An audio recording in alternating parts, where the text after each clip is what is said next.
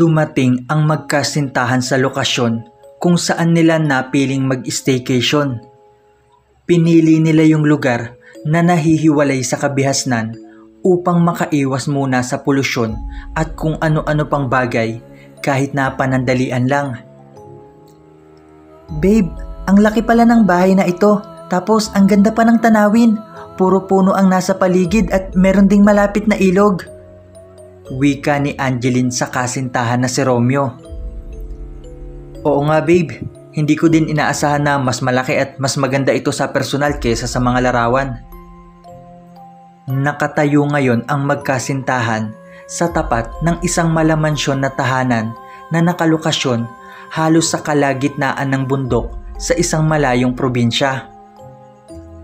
Ang kuryente ng bahay na iyon ay pinapagana lamang ng mga naglalakihang generator at ang tubig naman na nakaimbak sa loob ay galing sa ilog. May dala namang galon ng tubig ang magkasintahan dahil bago pa man nila ito puntahan, alam na nila na hirap silang makakuha ng tubig na maiinom sa lugar na yon. Ilang minutong nag-aantay ang dalawa nung biglang lumabas ang dalawang matanda mula sa loob ng bakuran ay binuksan nila ang gate. Magandang araw! Kayo ba yung mag stay dito ng panandalian? Tanong ng matandang babae sa dalawa. Ah, opo. Ako nga po pala si Romeo at siya naman ang kasintahan kong si Angeline. Wika ng binata sa matanda at saka inabot ang kamay. Tinitigan naman ng matandang babae si Romeo mula ulo hanggang sa paa bago sumagot. Ako naman si Ising at siya naman ang aking kabiyak na si Ontoy. Halika at pumasok na tayo. Sabay na naglakad pabalik ang apat sa loob ng bahay. Pagpasok pa lang sa gate, nakaramdam na si Romeo ng kakaiba ngunit ayaw naman niyang sirain ang vibes kaya hindi na lang niya ito ikwinento kay Angeline. Ontoy, ilibot mo muna sila sa loob para malaman nila ang pasikot-sikot dito at tsaka, huwag na huwag mo silang kakalimutan na balaan. Maliwanag ba? Tumango naman ang matandang lalaki sa tinuran ng kabiyak bago neto yayain ang dalawa na sumunod sa kanya. Inilibot ng matandang lalaki mula underground hanggang sa second floor ng bahay sila Romeo. Itinuro din neto kung saan nakalokasyon ang kusina, banyo at kwarto nila. Itinuro din neto kung saan matatagpuan ang bukasan at patayan ng dalawang naglalakihang generator which is nakalokasyon sa underground. At sa mismong underground din matatagpuan ang isang kulay itim na pinto na may nakasulat na mga salita na sa tanang buhay nila Romeo at Angeline ay hindi pa nila nakikita. Marahan na naglakad papalapit ang dalawa sa nasabing pinto at pilit na tinititigan ang mga nakasulat dito nang biglang magsalita yung matandang lalaki. Iho, iha, gusto kong sabihin sa inyo na mahigpit na ipinagbabawal ang pagbukas ng pintuan na iyan o kahit na paglapit ay mahigpit na ipinagbabawal Maliwanag ba? Mabilis naman na naglakad pabalik ang dalawa patungo sa matanda at tuluyan na silang naglakad papalayo. Mang Ontoy, matanong ko lang po, about po doon sa kwarto sa underground, bakit po bawal puntahan iyon? Tsaka, bakit po itim yung kulay ng pinto? Tanong ni Angeline sa matanda. Huminto naman sandali ang matanda at bahagyang lumingon sa kanila. Kung ako sa iyo, Iha, iiwasan ko ang pagtatanong ng marami at sundin nyo na lang ang ibinilin ko sa inyo para naman iyon sa inyong kaligtasan. Kaya kung ako sa inyo, ay i-enjoy nyo na lang ang pamamalagi nyo dito. Nagkatinginan ang magkasintahan dahil sa sinabi ng matanda at napailing na lang. Matapos maigala ng matandang lalaki ang dalawa, tuluyan na itong nagpaalam at kung sakaling may kailangan daw sila, ay tawagin na lamang ang kahit na sino sa kanilang mag-asawa. Maganda ang naging style ng kwarto na pamamalagian ng magkasintahan. Meron itong malambot na kama, kabinet at aparador na pwedeng lagyan ng kanilang mga gamit at damit. Minabuti ng dalawa na magpahinga na muna at kinabukasan na tuluyang ayusin ang mga gamit. Total ay may limang araw naman silang mamamalagi doon. Mga bandang alas dos ng madaling araw nang maalimpungatan itong si Angeline sapagkat pakiramdam niya ay merong nakamasid sa kanila. Mabilis niyang binuksan ang ilaw at pinagmasdan ang paligid. Noong masiguro na walang tao, ay bumalik na siya sa kanyang pagkakatulog. Kinabukasan, maagang nagising si Romeo upang ipaghanda ng makakain ang natutulog pa niyang kasintahan. Habang nag-aasikaso, sa di malamang dahilan, parang may kung anong tinig na naririnig itong si Romeo na tila hinihikayat siyang pumunta sa underground.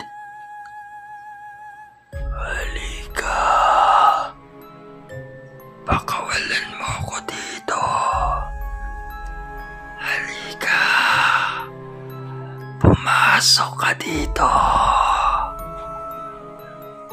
Wala sa wisyong naglalakad si Romeo papunta sa underground. Marahan siyang naglakad patungo sa kwarto na merong kulay itim na pinto. Nung matapat na si Romeo sa pinto, bahagya pa siyang napatingin sa doorknob bago niya ito hawakan. At nung bubuksan niya na ang pinto, bigla na lang may humatak sa kanya. Anong ginagawa mo? Hindi ka ba binalaan ng aking asawa patungkol sa kwarto na iyan? Galit na wika ng matandang babae. Dito na lang natauhan si Romeo at napatingin na lang sa paligid. Hinatak siya ng matanda paakyat ng hagdanan at doon nagsisisigaw. Hoy!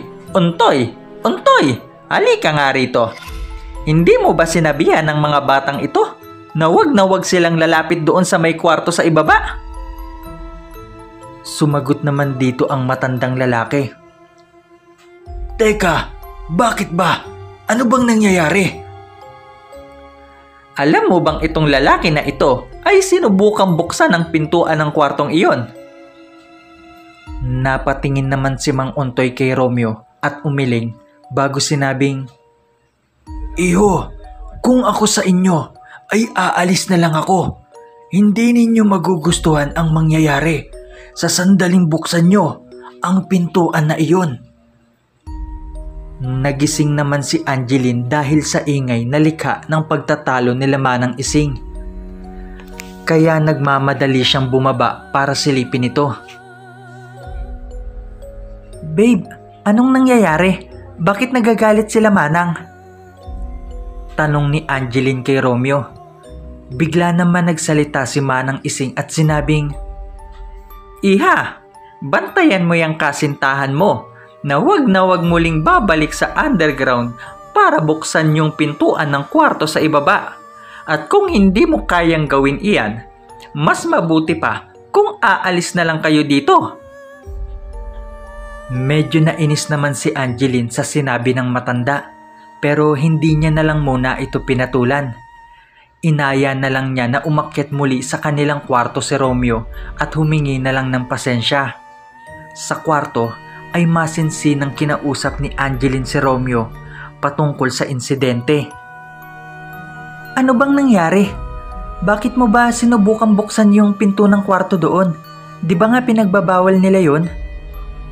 Medyo inis na sermon ni Angeline kay Romeo. Hindi ko alam babe eh. Basta ang alam ko lang, nagluluto ako ng almusal. Ng almusal sana natin nang, nang bigla akong nakarinig ng tinig. Na totally naririnig. Yun bang parang pumapasok lang siya sa isipan ko? Huminga ng malalim si Angeline tsaka niyakap ng mahigpit si Romeo. Pero babe, hindi ka ba nagtataka? Bakit kaya mahigpit nilang ipinagbabawal yung paglapit o pagbubukas ng pinto noong kwarto sa ibaba? 'Di ba parang may mali? Napaisip naman si Angeline sa tinuran ng kanyang kasintahan kaya napasabi siya ng Oo nga no, hindi kaya may krimen silang ginagawa at doon nila itinatago ang lahat? Nakaramdam sila Romeo at Angeline ng kaba sa kanilang katawan dahil sa isipin na maaaring may masamang mangyari din sa kanila. Minabuti nilang puntahan ng gabi yung kwarto at patago silang papasok doon upang silipin kung ano ba ang nasa loob neto. Mabilis na lumipas ang oras at naging normal naman ang takbo ng araw hanggang sa sumapit na ang alauna ng madaling araw. Marahan silang bumaba sa underground ng bahay at tinungo ang kwarto na merong itim na pinto. Marahan nilang pinihit ang doorknob, ngunit nakalak ito. Naglakas loob naman na pinasok ni Romeo ang kwarto ng mag-asawa at doon ay hinanap niya ang mga susi. Nang makita niya ang mga susi, ay dali-dali niya itong kinuha at bumalik sa underground. Lingid sa kaalaman ni Romeo na nakita siya ni Aling Ising kaya mabilis netong ginising si Mang Ungtoy.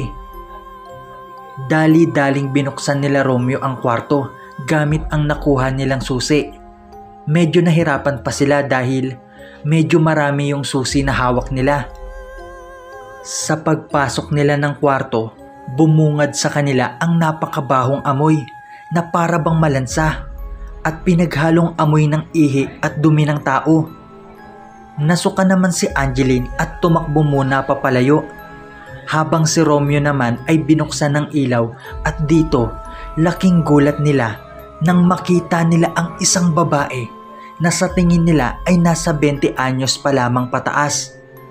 Napakadumi ng suot nito at napakabaho.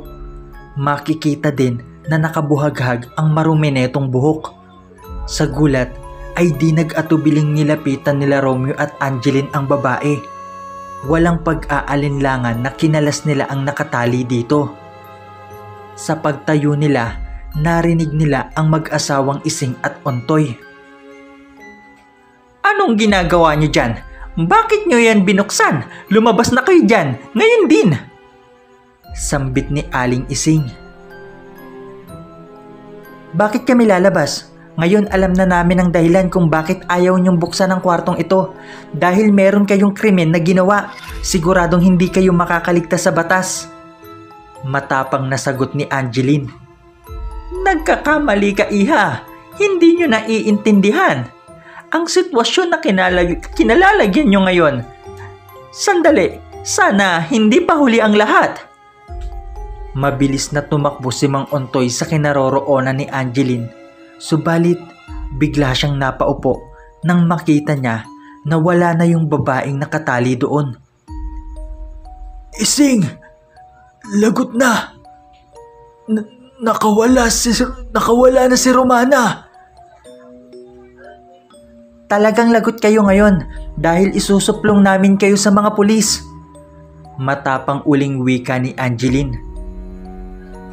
Hindi mo na iintindihan, Iha. Ka- ka- katapusan na nating lahat. Nagtaka naman si Angeline sa sinabing ito ni Manong Ontoy. At paglingon niya sa likod, wala na si Romeo at yung babaeng iniligtas nila. Kahit anong tawag ni Angeline kay Romeo, hindi na ito sumasagot hanggang sa napakaraming dugo ang tumulo sa kanyang ulo mula sa wala ng buhay na si Romeo. Makikita ang babaeng iniligtas nila na nasa kisame habang bitbit ang katawan na walang buhay na si Romeo. Sa pagkagulat, napaupo na lang si Angeline sa sahig at nakita na lang niya na nakalabas na ang mag-asawa sa kwarto at inilalak ang pinto. Nagmamadali na bumangon si Angeline upang makahabol sa mag-asawang ising at untoy. Sa labas naman, pikit matang napaluhod ang mag-asawa habang pinapakinggan ang isang nakakapanindig balahibo na sigaw na nagmumula sa kawawang si Angeline. Kasalukuyan na pinagpipiraso-piraso ni Romana ang bawat parte ng katawan ni Angeline at kinakain ang lamang loob neto. Matapos mawala sa pandinig ng mag-asawa ang sigaw, ay marahan na silang naglakad patungo sa hagdan upang makalayo na sa kwartong iyon. Sa loob naman, hinawakan ni Romana ang doorknob at sinubukan niya itong pihitin. Bagamat nakalaknga, napansin naman niya na hindi ito na isara ng maayos, dala na din siguro ng pagkataranta at takot. Kaya mapapansin ang maiksing pagguhit ng ngiti sa labi ni Romana. Mula sa pinto, tanaw na ang mag-asawang ising at untoy na paakyat ng hagdan at mabilis na sinugod ang mag-asawa. Sinakmal ni Romana ang liig ni Untoy na ikinagulat naman ni Ising. Wala na siyang nagawa kundi ang lumuhod at umiyak sa gilid ni Untoy habang hawak neto ang kamay ng asawa. Anak, Romana, pakiusap. Itigil mo na ito. Bumalik ka na sa dati. Napatingin naman si Romana sa lumuluhang ina pero wala siyang kahit na anong nararamdaman kundi pagkagutom lang.